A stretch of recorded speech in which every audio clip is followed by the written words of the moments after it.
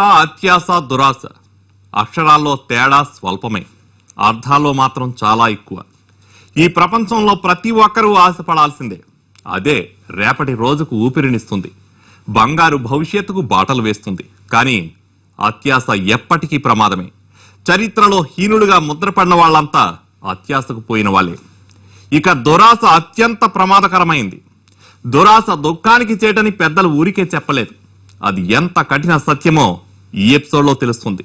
అత్యాస దురాశకు పోయిన ఓ కుర్రాడికి చివరకు ఎలాంటి శాస్తి జరిగిందన్నదే ఇవాల్టి క్రైమ్ ఫ్యాక్టర్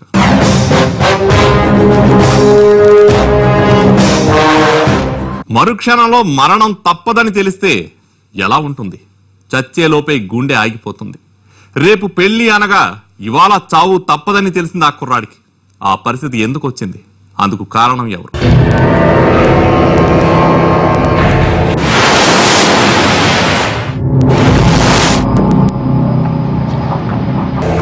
నా పేరు గీత. రేపే నా పెళ్ళి. ఓ అబ్బాయిని ప్రేమించాను. ఇప్పుడు అతడు ఇక్కడికి వస్తున్నాడు.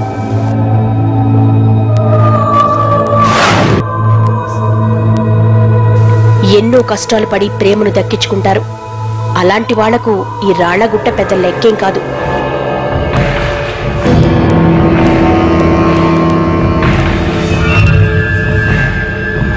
ఆయాసం వస్తున్నా సరే ఆగరు. ప్రేమకున్న బలం అలాంటిది మరి. అది శిఖరాగ్రాలైనా ఎక్కించగలదు పాతాళమంతటి లోతుల్లోకైనా పంపించగలదు. ఈ కథలో గీతకు అమ్మలేదు నాన్న చాలా స్వేచ్ఛ ఇచ్చాడు అందుకే ప్రేమించగలిగింది.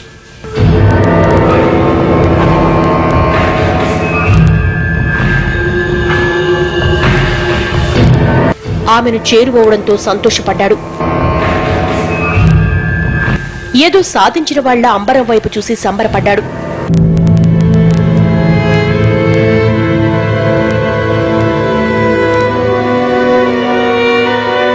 చివరికి ఆమెను చేరుకున్నాడు. వెనక నుంచి గట్టిగా కౌగిలించుకుని కళ్ళు మూసుకున్నాడు. తన్మయత్వం చెందాడు.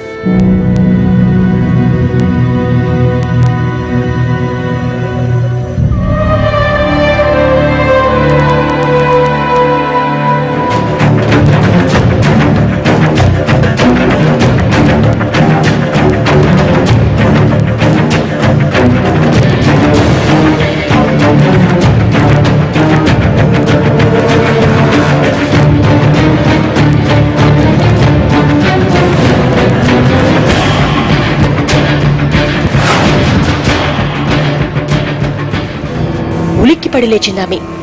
ముఖమంతా చెమటలు పట్టాయి.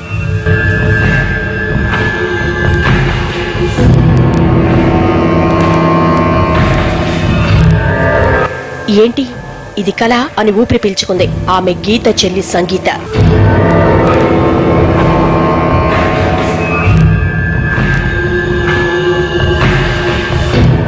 ఇప్పుడు జరిగింది కళ అనుకుంటోంది నా చెల్లెలు.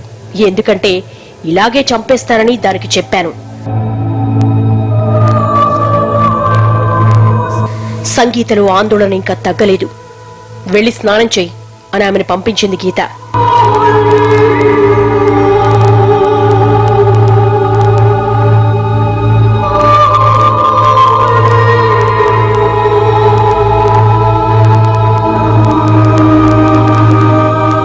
బాత్రూంలో షవర్ తిప్పింది. ఏదో ఆలోచిస్తూ ఉండిపోయింది.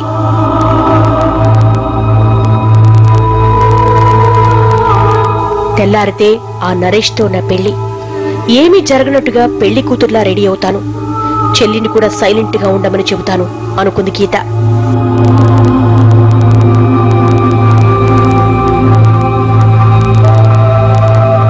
సంగీత ఎంతకీ రాకపోవడంతో బాత్రూం తలుపు తీసి చూసింది. షవర్ కింద తడుస్తూ కూర్చున్న చెల్లిని లేపి టవల్తో తుడిచింది.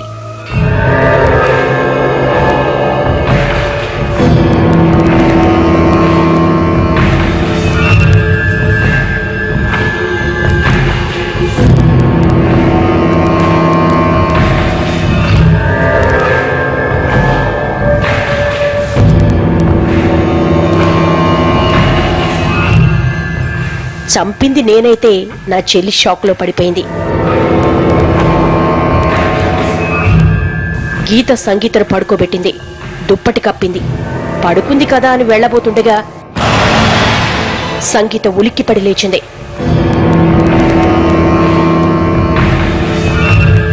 గీత ఆమెను మళ్ళీ పడుకోబెట్టింది. రాత్రి కరిగితే పగలు పగలైతే నా పెళ్ళి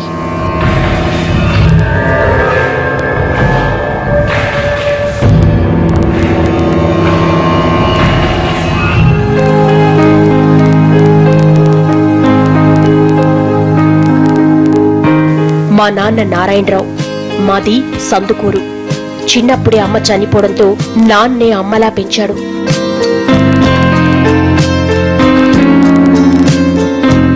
చాలా గారాబంగా చూశాడు.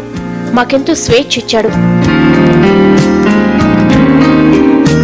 చెల్లంటే నాకు ప్రాణం.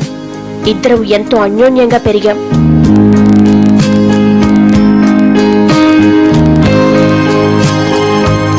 మా ఊళ్ళో పదో తరగతి వరకే స్కూల్ ఉంది ఇంటర్ చదవాలంటే సిటీకి రావాల్సిందే. చెల్లికేమో చదువు అవ్వలేదు అందుకే అది ఇంటి దగ్గరే ఉండి నాన్నం చూసుకునేది.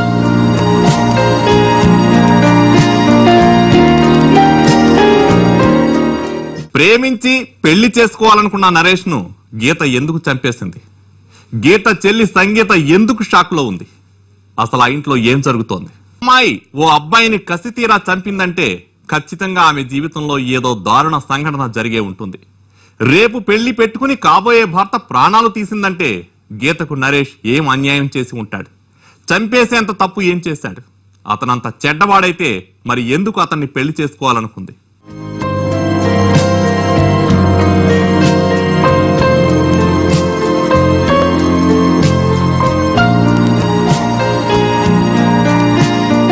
చదువుకోవడానికి హైదరాబాద్ వచ్చాను.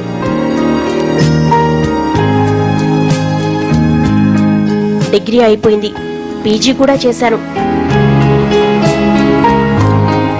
నా చదువు వల్ల చెల్లి సంగీత పెళ్ళి ఆలస్యమైంది.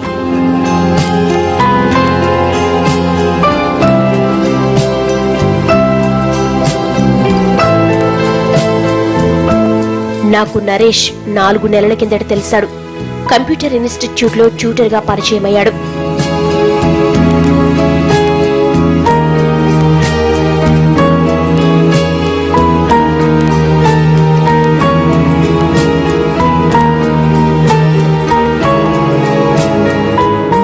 పరిచయం కాస్త ప్రేమగా మారింది.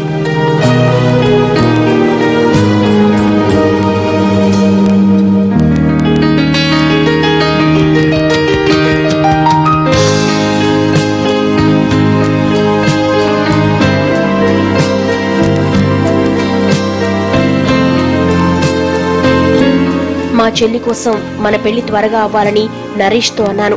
తను కూడా సరే అన్నాడు. నాన్నకు మా ప్రేమ విషయం చెప్పి పెళ్ళి చేయమని అడిగారు.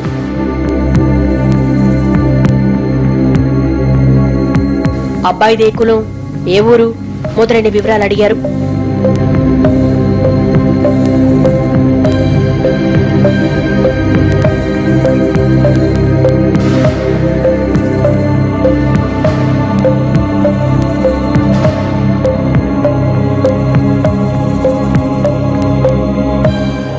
నరేష్ మాత్రం తనకి ఎవరూ లేరన్నాడు.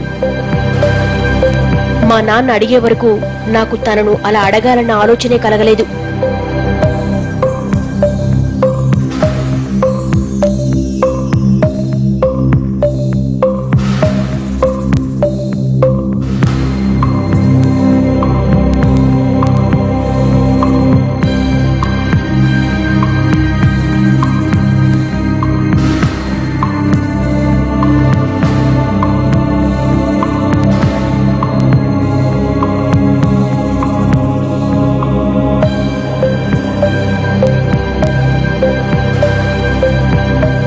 నరేష్కి ఎవరూ లేరని తెలిసాక ఓసారి ఇంటికి తీసుకురమ్మన్నాడు మా నాన్న.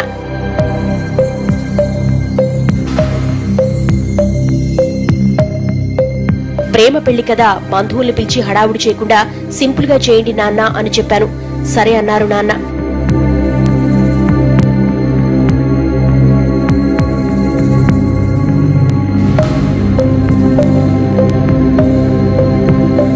నరేష్కు ఎవరూ లేకపోవడం వల్ల పెళ్ళి నెల రోజులుందనగా మా ఇంటికి వచ్చాడు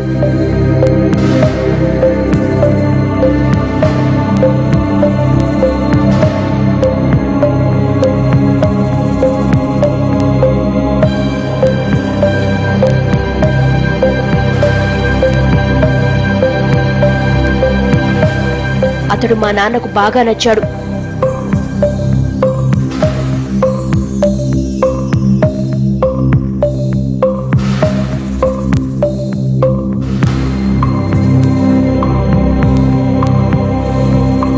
ఊళ్ళో పొలాలు మా ఆస్తిపాస్తుల గురించి అన్ని అతనికి చెప్పారు.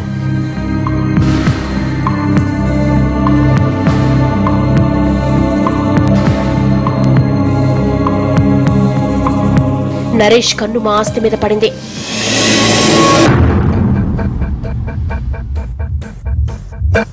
అంతేకాదు అదే కన్ను మా చెల్లెలి మీద కూడా పడింది.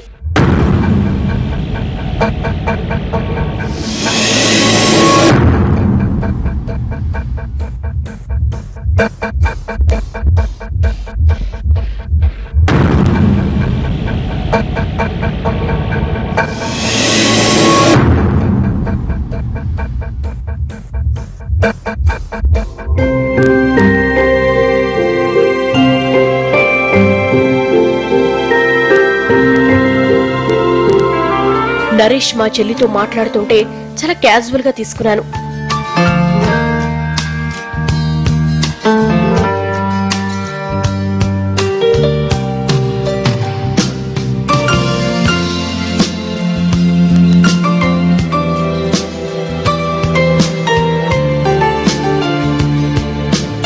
వారంలోనే వాళ్ళ వ్యవహారం చేతులేసి మాట్లాడుకునేదాకా వచ్చింది. అది చూసి నేను షాక్ అయ్యాను.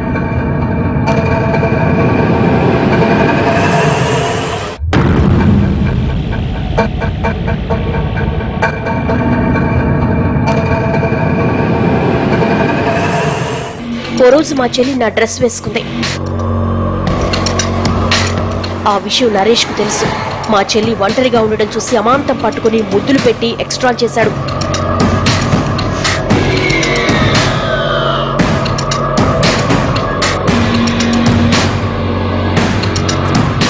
చివరికి సారీ సారీ మీ అక్క అనుకున్నాను అంటూ జారుకున్నాడు.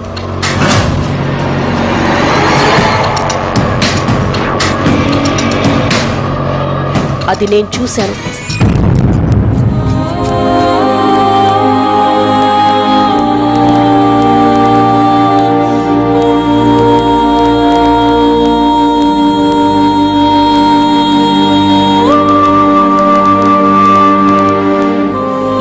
ఎవరైనా చెబుతారేమోనని చూశాను కానీ ఎవ్వరూ చెప్పలేదు. అప్పటినుంచే ఓ కన్నేసించాను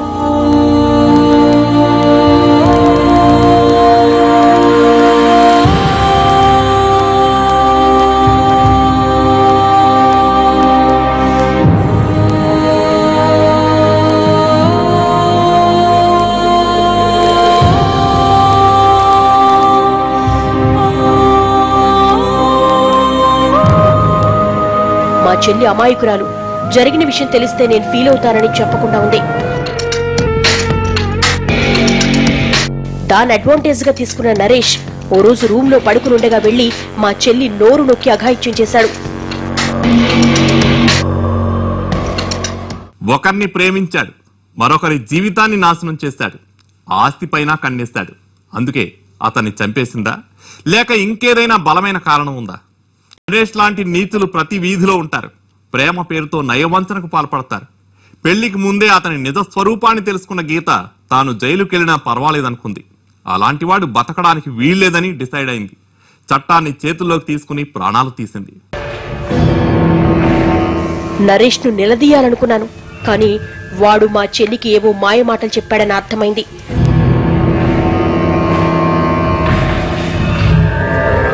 టోటల్గా అతని వలలో పడింది.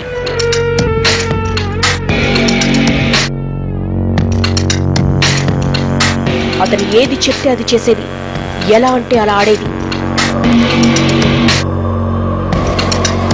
అమాయకురాల్ని చేసి ఆడుకున్నాడు. అతని నుంచి చెల్లిని కాపాడాలి అనుకున్నాను. పెళ్ళికి రోజులు దగ్గర పడుతున్నాయి. చెల్లెలేమో అతన్ని వదిలి ఉండట్లేదు.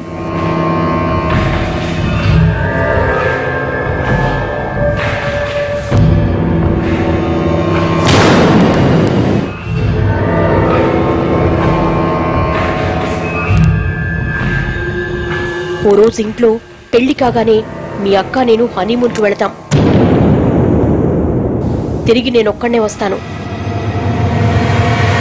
అప్పుడు నాలుగు రోజులు ఏడుద్దాం. తర్వాత మీ నాన్నే మనిద్దరికి పెళ్ళి చేస్తాడు అని సంగీతతో అన్నాడు. అది నేను చూశాను. అతని మైకోలో పడిన నా చెల్లెలు నేనేం చెప్పినా వినే స్థితిలో లేదు. ప్రేమించిన నన్నే చంపాలనుకున్నాడు. నా చెల్లిని చంపుతాడు. ఆస్తి కోసం మా నాన్నను కూడా చంపుతాడు. అందుకే నరేష్ బతకూడదు అనుకున్నాను.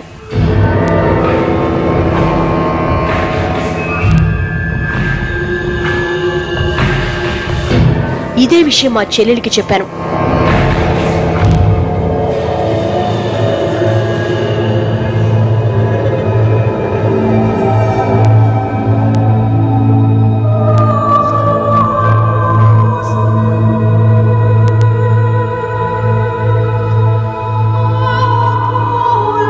చెల్లి ద్వారానే అతన్ని అక్కడికి రప్పించాను చంపేశాను.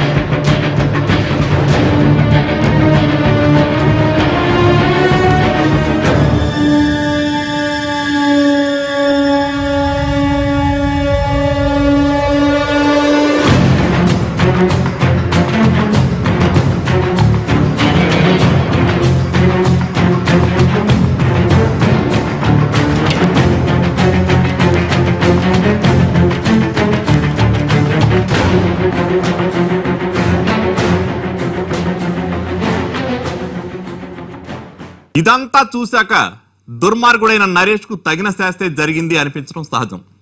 ఎవరైనా సరే అలాంటి కంత్రిగాలను చంపేయాలని అంటారు. కానీ ఆ పని చేయడానికి న్యాయ వ్యవస్థ ఉంది. నరేష్ను చంపి గీత సాధించిందేముంది? బంగారు భవిష్యత్తును జైలు పాలు చేసుకుంది. అతనిపై పోలీస్ కంప్లైంట్ ఇచ్చి ఉంటే చట్టమే అతన్ని శిక్షించి ఉండేది. అప్పుడు గీత సంగీత కొత్త జీవితాన్ని ప్రారంభించేవాళ్ళు.